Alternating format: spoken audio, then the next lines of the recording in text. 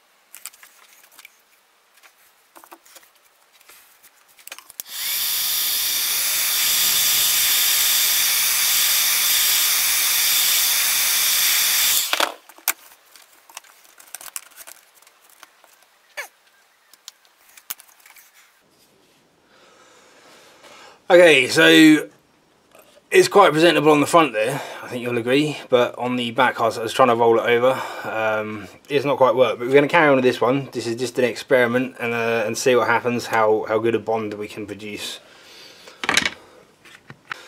Okay, so the original idea was to have the, the first piece um, form the edges over and then put cement on the top edge of a completely flat piece slide it in there and then shove the blade in behind it and it will stick upwards. Um, um, I know I can get this a lot neater but I've just I just had another idea. So in the uh, in the interest of experimentation um, we're going to shelve this one for now and zip this edge off along here. Zip! Make another one but the reverse and then stick them together and put little plastic straps around them see what happens So I've just trimmed the edges off these, these two impressions that I made in the plastic. Um, I'm going to bond them together and then uh, put, a, put a strap around the back and do some destructive testing, figure out how strong this shit is. I'm just using um, Floplast, flow, Floplast, it's the um, PVC and ABS uh, plumber's pipe cement. Oh, the dog's in here. One of them is creeping up behind me. Yeah. And it's got good gap filling properties. Uh, but it works best on ABS. If you're using it on on PVC, you're meant to use a primer, but I never do when I'm doing pipe work anyway. But I suppose if you're going to use it on Kydex, you'd want a primer. Um, I'm getting it on the edges here. I think if I was doing anything other than an experiment I'd have the have the edges masked up because this will this will definitely show the edges Let's pop them together and see what happens.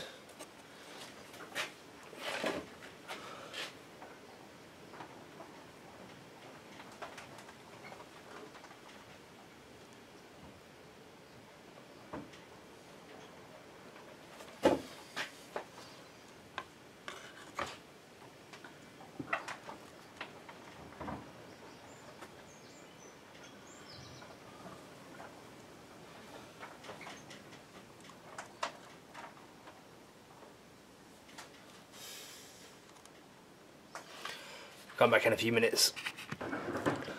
It's actually uh, quite a pleasing result, you know, obviously uh, first attempt, um, if I was going to make a number of these, I would fine tune it and get it a lot uh, a lot slicker and a lot quicker and, and uh, a lot neater as well, but you know, that's not entirely too shabby. The bond line is a bit ugly, and uh, but you can see there's a nice nice bead of material here um, where I'd put the put the solvent on, let it sit for a minute, and then squeeze them together. So that that splurge line. Um, I know a joiner once said to me in it like, uh, it, um, it was Northern. Um, I think it's actually a tune.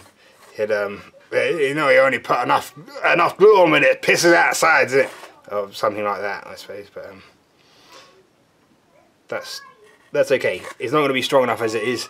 Uh, last thing you want is this uh, this bond line separating and uh, and a edge edge going wild as we've got this thing strapped to our belt. So I'm gonna I'm gonna put a strap or two along around the outside, top and bottom, and then uh, then work on a belt loop. See what happens.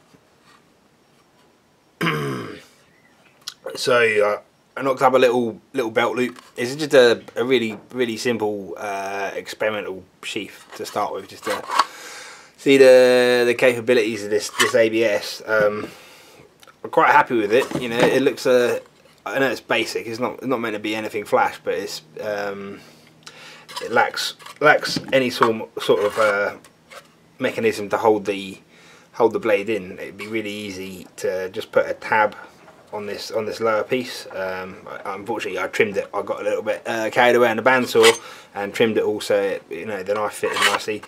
But um, if I wanted to, I could just just put a little tab that came up behind behind the um, the back of the blade there. So I just press it down with my thumb and pull the blade out. And uh, if it was if it's angled, you'd be able to slide the um, slide the blade back in and it click, uh, you know, back into place. So this is this is very promising.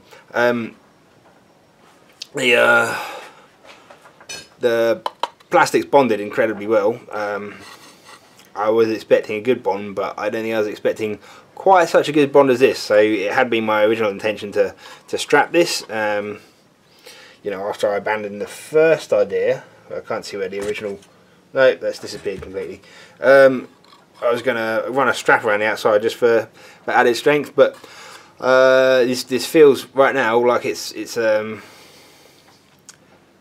is going to be tough enough to, to keep this blade safe um, just as it is. And that would make me really happy because it's just three bits of plastic that um, if I was if I was serious about making any number of these I could make a steel mold and uh, put put my plastic in the in the oven under the grill or something, you know, suspend it there and then, you know, much much like a vacuum former, and then uh, lay it on top of my steel mould and press it down, you know, before it's got a chance to go cold, maybe even put part of the steel mould in the oven too, if you follow my drift, so it doesn't uh, cool the plastic too quickly.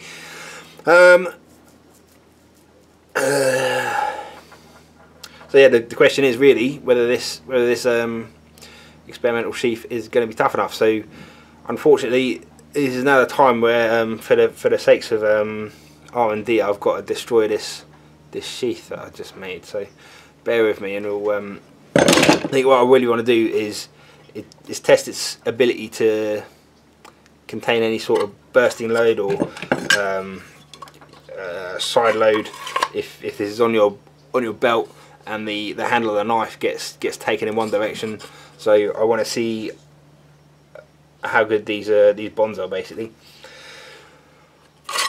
I think what I'm going to do is put a wedge put a wedge down here and see how much deformation I get in the plastic versus whether or not the bond line just pop let's go all of a sudden um, see what happens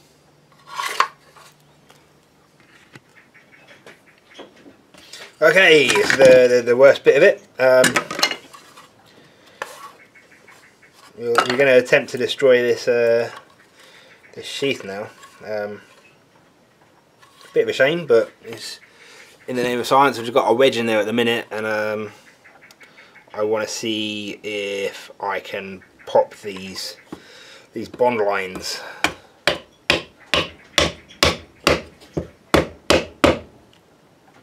That's good. It is starting to go. Is it starting to go? I don't think it is starting to go actually. Look.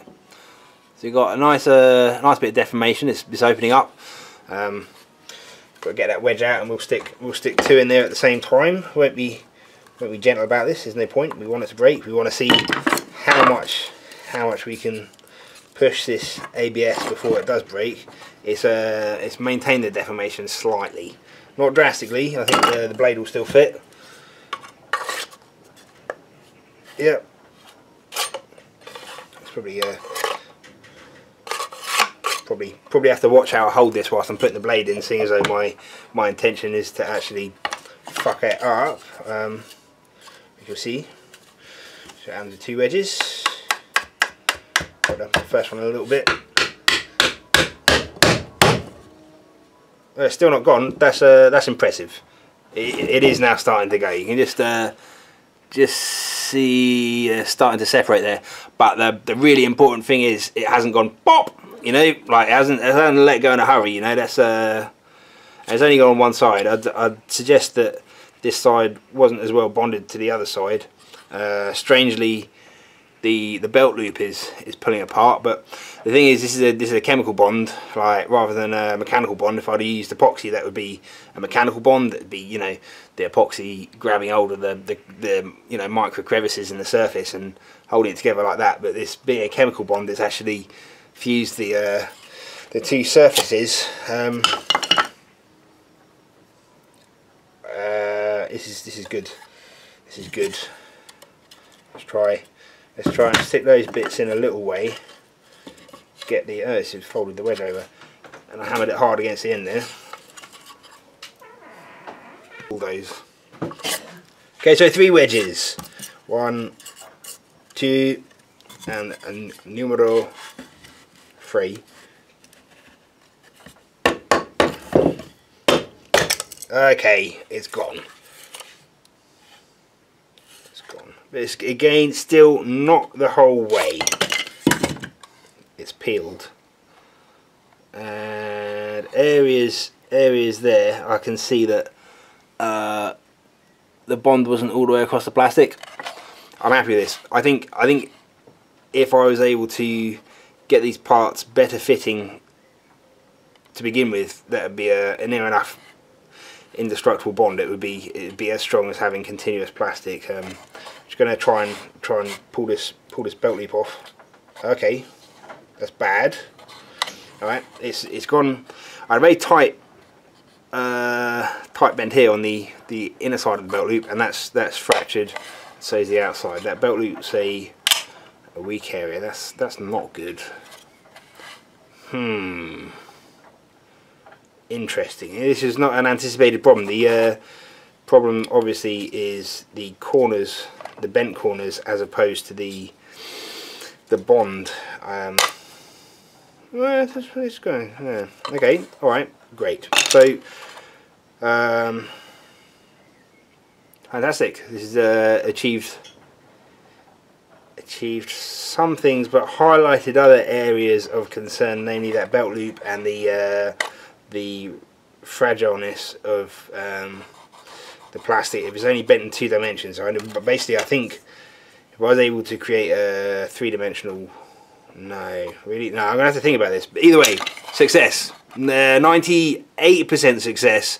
because I've achieved something that's better looking than what I thought and uh, um, stronger and probably easier to produce so this is good alright stay tuned cheers like and subscribe and all the rest thank you very much guys bye